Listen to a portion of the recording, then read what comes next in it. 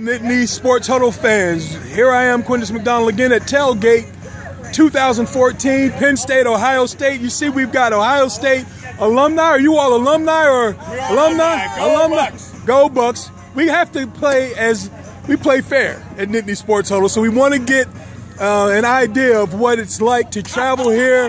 Wow! Oops! Oops! Just friendly, just friendly. See, the fight's the fight started. This is a really, I love it. a really friendly place that people don't beat you with bags. Right, oh, good. until- until the bean bag happens, Until right? the bean bag incident. So, so really, just uh, tell me what it's like to be here. I know that you guys travel well, um, and you do a great job of, of tailgating in Columbus. But what's it like here at State College? We've never seen anything like this. There are just miles and miles of RVs, friendly people everywhere. Uh, hospitality is very abundant. It's about the respect of the Big Ten. And There we that's, go. that's the way that we behave to one another, competitor versus competitor. That's the it. outcome will be decided on the field. Right now, we're just all friends, enjoying the day. Enjoying the day. Uh, I'm just gonna ditto.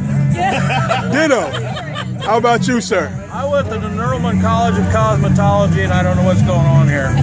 Okay.